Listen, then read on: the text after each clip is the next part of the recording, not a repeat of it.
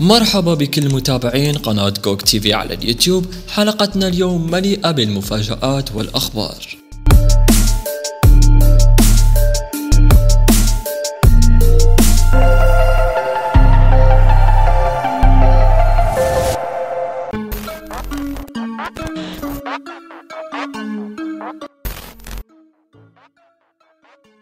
أخيرا كنساليو دابا الصوت شنو بقى دابا؟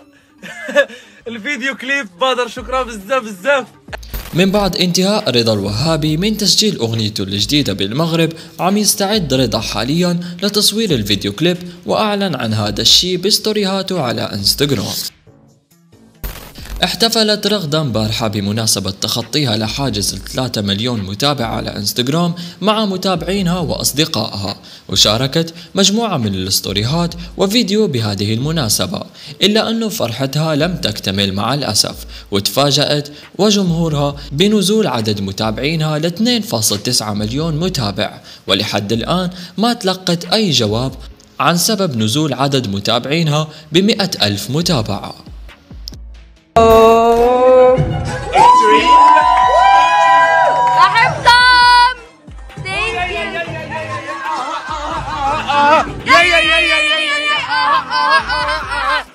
من بعد الحادث الخطير اللي تعرض له جودي قبل أيام واللي نتج عنه كسر على مستوى الكتف أخيرا والحمد لله رجع جودي لل social media سليما معافى.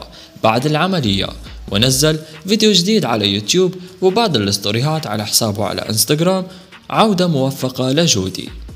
هو ذلك الذي تطلبه نجمتين فيعود حاملا السماء.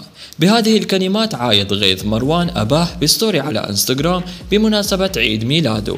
فلاحظ عدد كبير من الناس نسبة الشبه الكبيرة بينهم. ما رأيكم؟ اكتبوا لنا رأيكم بخانة التعليقات. بستوري على انستغرام واللي أجابت فيه عن سؤال متابعة لإلها صرحت ياسمين تي في أنه أصعب شيء كان بحياتها هو انفصال أهلها لما كانت صغيرة حيث كان عمر ياسو لما انفصل أهلها عن بعض خمس سنوات. من بعد ما انتقل أنس وأصالة لكاليفورنيا واستعرضوا بيتهم الجديد بآخر فيديوهين لإلهم على قناتهم على يوتيوب وعد أنس وأصالة متابعينهم بمحتوى عائلي جديد وفريد من نوعه. يشبه المحتوى الغربي ولكن بطابع عربي. فمع استعراضهم لأماكن من البيت حمسوا المتابعين بعدد من الأفكار والمخططات اللي عم بيحضروا لإلها للفيديوهات والمحتوى المستقبلي. حيث اعتذر أنس من المتابعين لعدم التفاعل معهم على مواقع التواصل الاجتماعي هاي الفترة نظرا لانشغالهم بترتيبات النقلة للبيت الجديد والاستقرار الكامل بكاليفورنيا.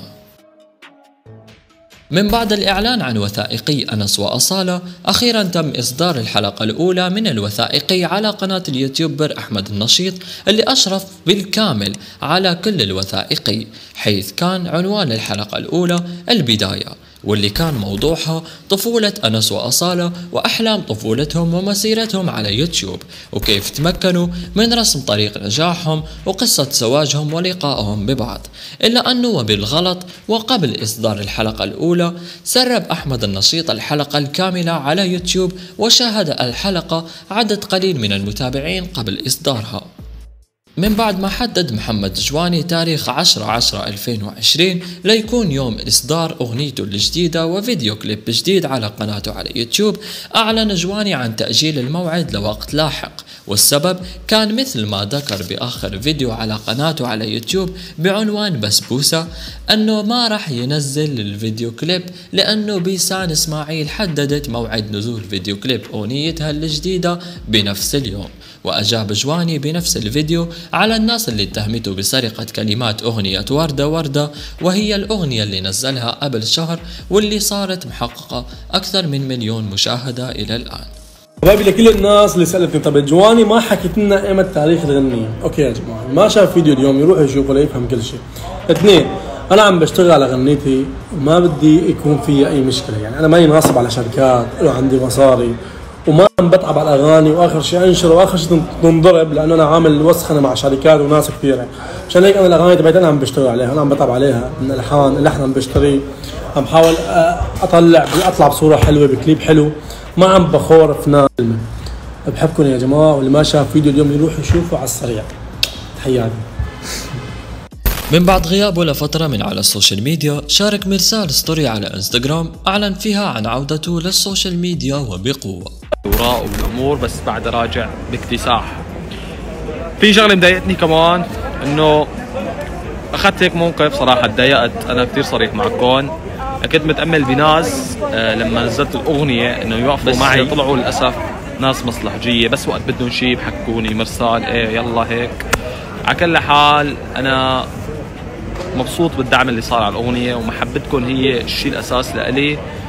وإن شاء الله الأعمال الجاية تكون أقوى وأحلى. شكرا. نزل ريدار أغنية جديدة على قناته على يوتيوب بعنوان كرنفالي.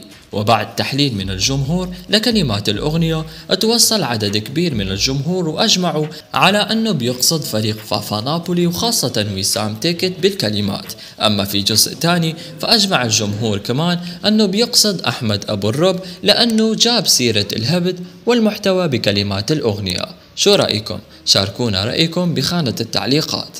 أما نور ستارز فعم بتحضر هاي الفترة لبيتها الجديد بدبي وتستعد للاستقرار فيه مع عائلتها حيث وعدت المتابعين بجولة بالبيت فور استقرارهم قريبا. أعلنت بيسان إسماعيل عن أغنيتها الجديدة بعنوان البجن ولكن بعد ما تم إصدارها على قناتها على يوتيوب تم حذفها بنفس الطريقة اللي انحذفت فيها أغنيتها مسيطرة اللي أصدرتها قبل شهر. فنزلت بيسان الفيديو كليب الكامل للأغنية على حسابها على إنستغرام. لتشارك بعدها story كتبت فيه مضطرة أحكي كل شي مين ضربني وليش؟ وهذا راح يكون عنوان الفيديو المقبل بقناتها على يوتيوب. لتحكي أشياء وأسرار جديدة. حبايبي أنا نزلت من شوي غنية مسيطرة على قناتي وانحذفت وعادي ما عندي أي مشكلة. أنا نزلتها على الإنستغرام وحكيت هذا الموضوع. حبايبي أنا إنسانة أنا بيسان إسماعيل. أنا صوتي حلو. أنا عندي ناس بتحبني وناس معي على الحلوة قبل على المرة قبل الحلوة. وهون نكون وصلنا لنهاية الحلقة. لا تنسوا تضغطوا على زر ال like وتشتركوا بالقناة لتوصلكم جميع أخبار ال YouTubers أول بأول.